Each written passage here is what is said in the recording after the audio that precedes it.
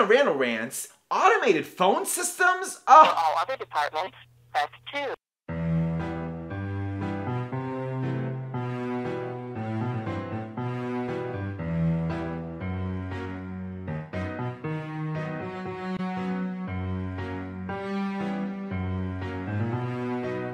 look, it's 2014 and we still have these automated phone systems answering our phone calls?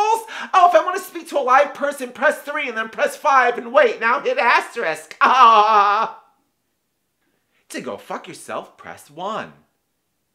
One time I had to pay for something, right? And I don't like to do it online because I don't trust that shit. So I do it on the phone, I call the number and I press this and I press that just to get a fucking automated thing telling me that they're gonna have someone call me back.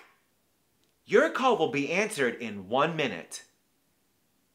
In this day and age, I think what we need as a society are more jobs, right? So why not employ people to answer those fucking phones instead of having R2D2 tell me to press 1232? Go fuck yourself! Answer the phone! For Randall Rants, I'll see you next time.